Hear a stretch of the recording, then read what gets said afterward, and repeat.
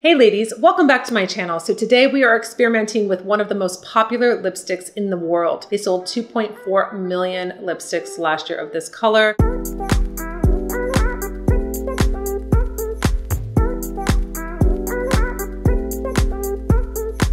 So we are tweaking it to work with me. Yes, I have cool hair, I have cool tones, but you know what? That doesn't limit me. Again, as we age, be open to everything. Be open to trying new products and seeing how they really make you look, how they make you feel. Speaking of how you feel, I have my sleepy gummies that I've talked about from Winged Wellness. It's a woman based company. I've had such positive feedback from all of you ladies telling me how much it's helped you. And this was something that I found over a year ago, I was looking at Life Extension, which is like a vitamin shop for all different things, but I was there specifically for a sleep aid for my father. He was having trouble sleeping. And I've told this story so many times, but if you're new to my channel, it's very important to know that, you know, I'm always about finding remedies for issues that you have and really trying to address that. And I was always editing up so late at night. I mean, two o'clock, three o'clock in the morning. I wasn't sleeping well. I was always trying to do too much. And I knew I was waking up so many times. And the reason why I really knew that this product worked for me is that I have the Oura Ring and it's a sleep tracker. And this was very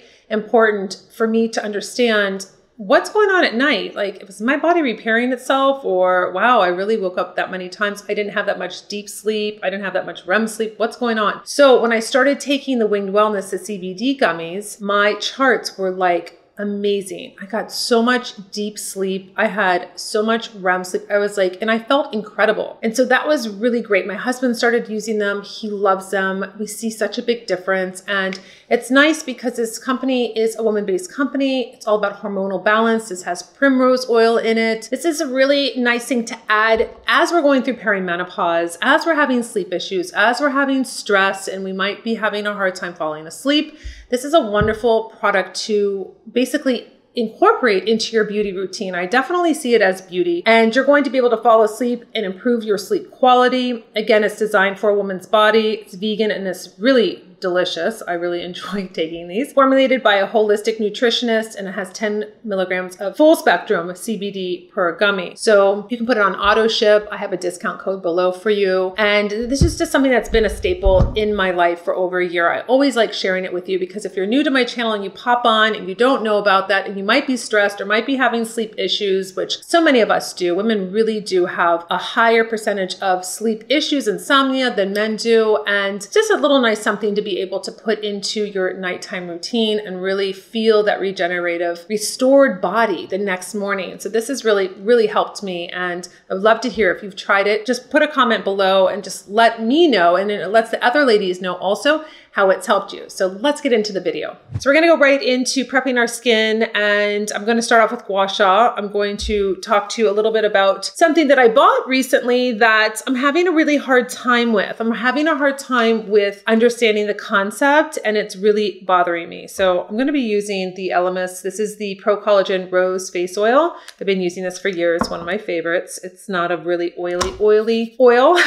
but it just soaks into the skin, gives me enough slip when I use my gua sha. My skin has been really dry. I've been using Retin-A, but just sparingly. Like I haven't been going crazy and it's really powerful. You've got to be really careful with the Retin-A. So here's my gua sha stainless steel. I just released this last month. It's a beautiful, beautiful way to contour, depuff the skin, nice little ritual in the morning. So I'm going to do this and it just slides so nicely. You want to use an oil not a moisturizer because a moisturizer will absorb and then you're like left with feeling like, oh, it's not slipping. You need that slip when you're using the gua sha. So you can do any kind of different, you know, kind of routine that you want. There's no real system of, oh, you have to do it this way and you have to do it five times or what have you. Do whatever makes you feel good, just really relaxing. I just, you know, kind of work my way around the face. But I wanted to tell you, I went to Sephora the other day and I bought Fenty lipstick and I wasn't really quite sure. I haven't bought it before. There was a color that I was um, interested in because I had read a little article about, but this is going to be a refill and then I have to buy the case. You know, we dealt with that recently when I had that Jane Iredale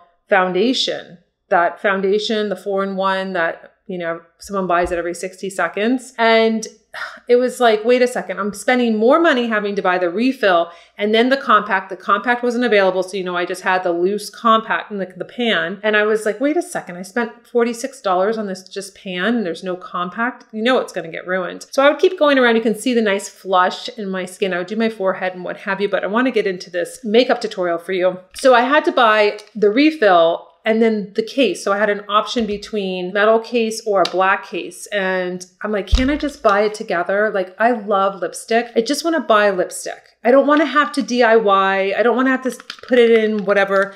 So I found it to be very complicated. And I was like, okay, I have a piece here. I have this. It feels like it's just nothing. So I was like, I don't know what this is. So, all right, yes, there's little directions on the side, like a little diagram, but who reads that, right? So then I opened up my little refill, $12, $20, $32, but I have to put it together. And I see that this has already squished half the top of it. So this comes with it all squished. Clearly we'll be taking it back, but I just don't understand like why we're doing this. Like I don't understand. I know everybody's going to say less footprint, what have you, but let's do the numbers. I want to see someone do a report on we are more sustainable because we're doing this now. We're frustrating everybody. You have to buy, it's more expensive for you, but it's a less of an impact. I don't know how that's working. I would love to know. Do you love doing, putting everything together now and it being more expensive for you because you're buying refills? Personally, I just want to buy a lipstick and like love it and then use it until it's done and then get a new lipstick. I don't want to do this. I couldn't even open it once I put it together. And I wasn't the only person. I read the reviews and girls were like, this is so frustrating. And they're like, I couldn't even pull it out. They're like, I put it in backwards and then I couldn't get it out. They're like, I just do a lipstick. Just allow a client to buy a lipstick. Let's not complicate things. So today we are using a lipstick that is one of the most popular in the world. 2.4 million bullets of this lipstick were sold last year, and that is the MAC Chili. Now, what's interesting about this is that it is a matte lipstick. It is a more of a brown orange. So watch out, gray hair, cool skin going in with the brown orange. Can we do it? Can we do it? I don't know. I don't know, but I'm going to do a little tweak to it because I don't know how I got this. Obviously, I haven't used it. um, I bought the Ruby Woo, which is one, I thought this was going to be what the article is saying. It's a beautiful red. It's more of your traditional blue red, but I had this chili here on my desk and I was like, you know what? I'm going to do it. I'm going to do it because not everybody is cool like me. Not everybody has gray hair that watches my channel. Why not? Maybe it doesn't look great on me, but it's going to look amazing on you. Or you already have this and this is one of your favorite lipsticks. Let's try it. Let's get outside the box. Now, everything I show you doesn't have to be like, whoa, that's amazing on you, Nikol, but it could be amazing on you. So let's try it. I'm gonna just put on over the oil the Bobbi Brown face base. Let's keep it simple. I'm going to go in with my flat foundation brush that I'm going to just apply it just keep it simple. I will dip in and then I will put it on. This is a really nice hydrating face primer and I'll just layer on the oil. My skin will be really nice and dewy and fresh. And then we will go into the rest of our makeup that we normally kind of prep and hydrates. And this is what is going to make the makeup look the best. The BB cream foundation is going to look amazing. Face base is on. It smells like this beautiful orange essential oil. I have been using that forever on my clients. I love it. So we have this really beautiful hydrated skin. Let's go into doing our eye primer. We want to really nicely lighten this area that's dark. I go into the inner corner, come up to the brow bone. I'm at the base of the lash here. So this is gonna nicely give your eye that priming. You can see, so this is primed, this is not. If I put shadow over, I'm gonna be doing lighter since we're gonna be doing a darker lip, it would get all muddied into my skin color and I don't want that. I want it to be nice and neutralized prior to putting on the eyeshadow. Eye primer is on. I'm gonna go in with just a very classic palette for us. This is the Bottled Blonde. I have a really hard time keeping this in stock, especially with raw materials being very scarce for the last two years. So we're working on it, but this is one of my favorite palettes to use. I think that it's just gorgeous. And you know I'm gonna do? I'm gonna just go in with our new brush, the blending brush. I'm gonna just put on the first color here. I want it to be like a beautiful wash of color on the eye Nothing major. I just want it to be very soft, just like that, because the lip is going to be obviously much darker. It's a little bit outside of the comfort zone, but why not? Why not play around with color? And I want you to just see what it looks like and what you could wear with it. I'm going to go in with the lightest color here, do the brow bone, marry the two. Very, very soft, very easy, not a big to do. I will be doing a dark chocolate eyeliner because my eyes are just so light, very, very fresh. That's it. Two eyeshadows, we're done. Then I'm going to go in with curling my lashes first. I'm going to just use my lash curler. You know, it's so funny. I want, I'm always getting to, I want you to get to the point because everybody's like, oh, get to the point of the, the video. And I would be doing my heated eyelash curler, but I would take a little bit more time. So it's always right here. But if you want to really see those lashes stay all day, you're going to be using your heated eyelash curler. But also, you know what I want to do? Before, we're going to do the primer that we've done recently, the eye primer. It really made a big difference with my lashes. Going in with dark chocolate, we're going to line the eyes the way that I love doing it. So it's just the eye, it's being lined.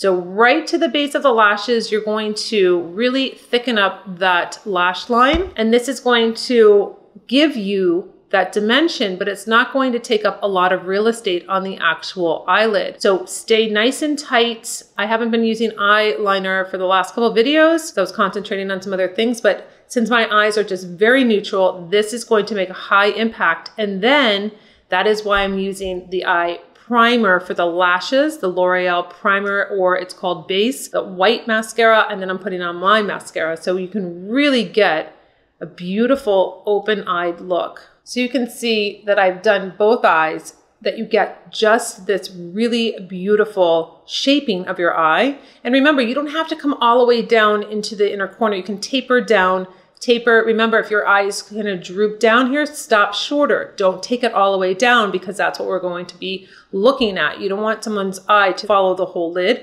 Stop short so it's lifting. Everything's about lifting the face as we age and when we do makeup.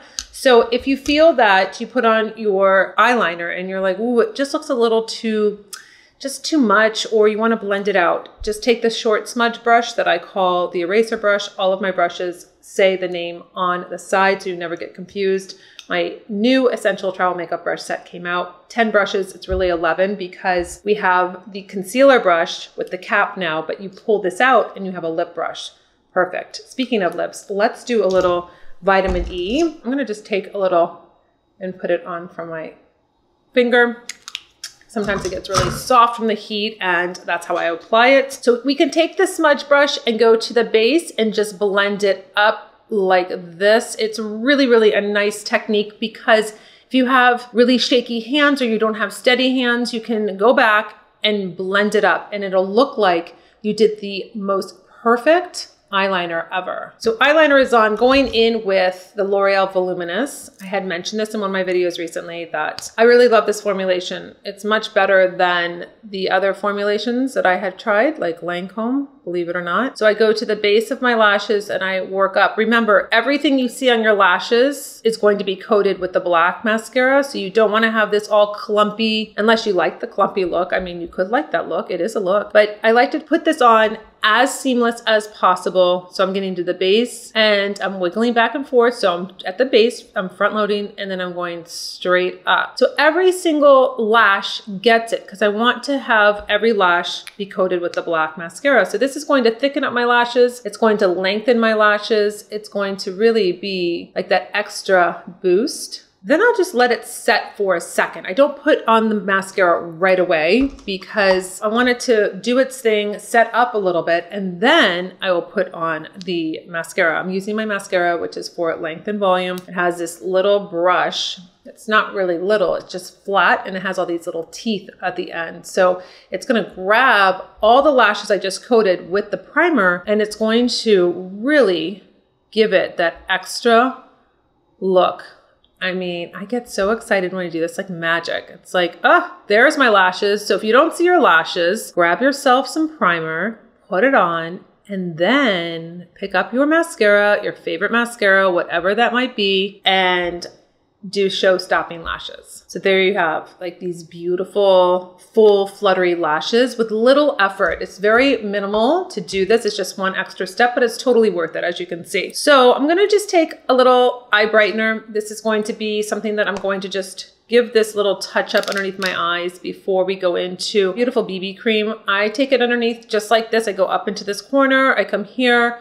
underneath my eyes and I come down a little bit, little bit lower, you see that I have a little redness there or discoloration, what have you. And then I just work this in with my foundation buffing brush. It's very light formula. It is very forgiving and I'm going to just take that foundation buffing brush and work it in. And it really nicely will kind of just brighten this under eye area. If you do need a little bit more of coverage, you can go in with a concealer. NARS Creamy Concealer, Radiant Concealer is very nice. We have a pot also in Warm and Cool that you could do that gives you options when it comes to three different colors, mix and match, you know, do a custom color for yourself. It's a nice option sometimes, depending on your skin, when you just don't want one color and you're like, well, you know what? I kind of need a little bit deeper, or today I'm a little bit more red or more dark or what have you, you have an option when it comes to the customizing with the concealer. Also, it's not about covering up the skin as much as possible. I have been very, do I say lenient with my skin as I age where I'm not trying to cover every single thing. Like I have, you know, pigmentation here. Sometimes in the videos, I'm like, oh, I probably should have covered that up, but it's like, it is my skin. I just want it to look beautiful and even toned. I don't need to go crazy because I really honestly feel like it makes me look older where I have, if I have too much makeup on, I'm like, oh, I'm like, no.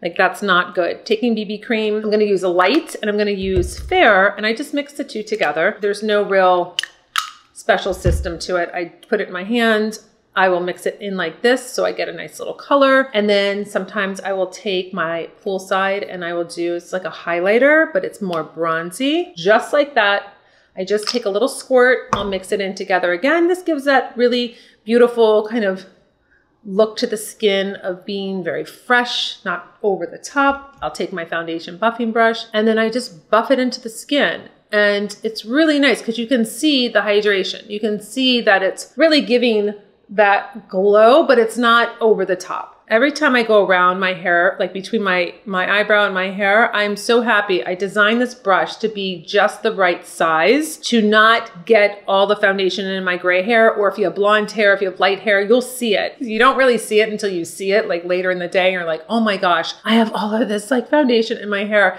So that was one of the big things when I was designing my brush kit. Like these are like small little details, ladies, but it, it has to work. So it can't be too big and it can't be too dense.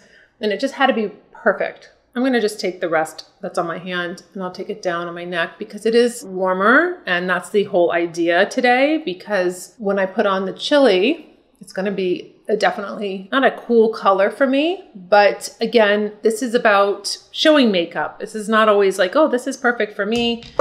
There's so many different women, all different types of skin tones that watch my channel, and I really want to bring multiple different colors for you. I, am going to see if I can really pull it off. We don't know yet. We're going to experiment together. So I have reorganized my, my desk to be super organized. Every time I do that, can't find anything. So I'm almost feeling like as an artist, it should just be like everywhere because then I can find it. When I have everything perfect, and all organized. I'm like, where did I where did I put this stuff? So I feel like I keep reaching around for everything. So we have the beautiful look coming together. Lashes are on with this beautiful skin. Now, since we kind of are going higher with the MAC Chili, $19 for the lipstick. Let's go into a Wet n Wild. This is a blush and a highlighter. So I'm going to do a little bit of this and then I'm going to warm it up with, this is my high-low. You know how I like doing that. I'll go drugstore and then I'll go prestige. This is Hourglass. Look how beautiful this little bronzing palette is. This is their ambient light. It is so pretty. It is, you know, you don't need too much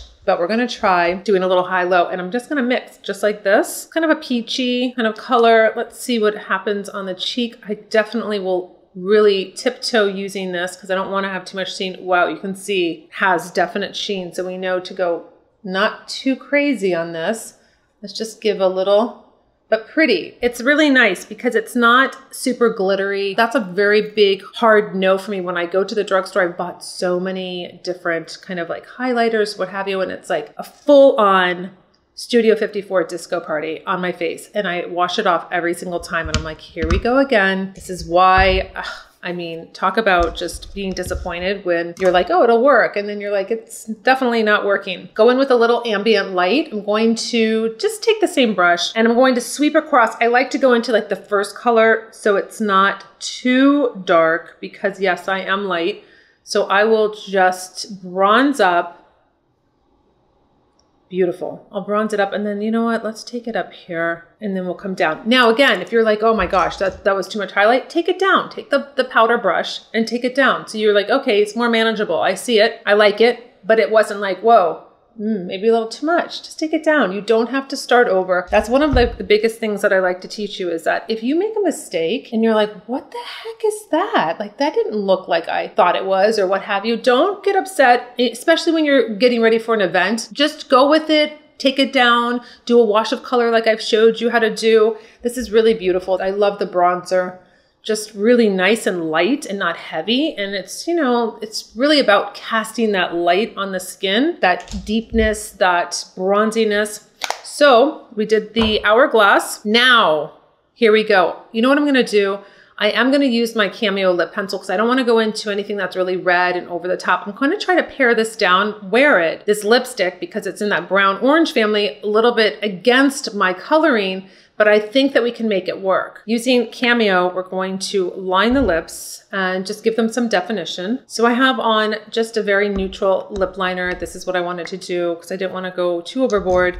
And this is going to be where instead of putting on the lipstick because it is a darker color, this is where my new lip brush comes in handy. So I just pull it out and then I go like this because it's usually like once it, if it hasn't been used, it's a little stiff. So I just go like this so it loosens it up go into the bullet of this beautiful lipstick and we're going to see how this applies. And it is matte, remember, but I have the vitamin E on my lips, so I have a little cushion there. And we're going to really be precise when we apply this lipstick. So it's really, really easy to apply a darker color when you have a lip brush. And I wanted to start first where the cupid's bow is and really work my way down and then fill in.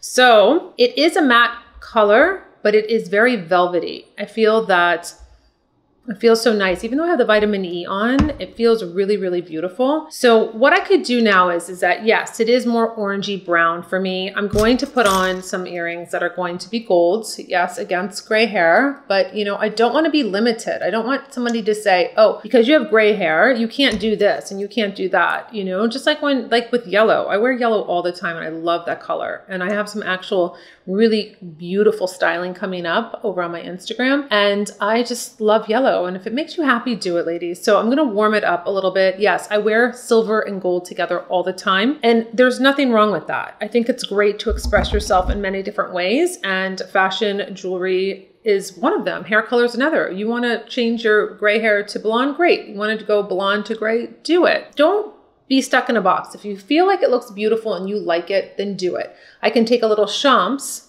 This is my lip gloss that I top everything with, and this is going to take this down a notch.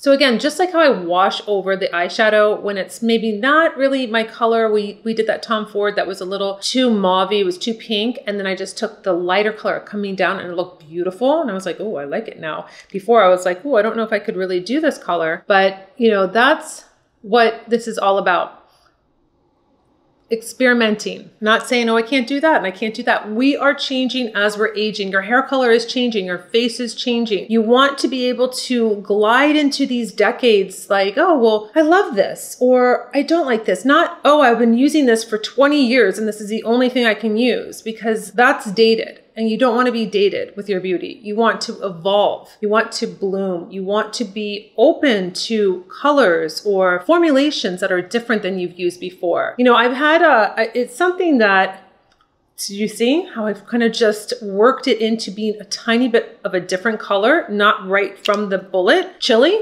see? Different. Almost more like in the corally because I took the champs and I like bubbled it up because this is my champagne topper. That's something that's happened to me recently where it's like I immediately already make an opinion about something, a, a, lipstick or a formulation or a cream blush. And I'm like so frustrated, like, no, no, that's not what I want. And I'm like, wait, let me just play with it. Let me just sit back and not be so judgmental of the product yet. So I have kind of been like working through things and, and changing my mind and attitude where I'm like open to it. Because if you are not open to product and beauty and difference, because I know as we get older, it's hard to be open to difference, you're going to be really disappointed. And you're not going to allow yourself to evolve into the magnificent, gorgeous self that really you deserve. And so this is why we do different things, you know, work with different products, high, low. I could go into brows, but you know what? I think they're fine. I'm going to just keep it like it is. Maybe do a little, you know what? I haven't used the makeup setting spray in a while. We'll use the Glam Guard on, on my face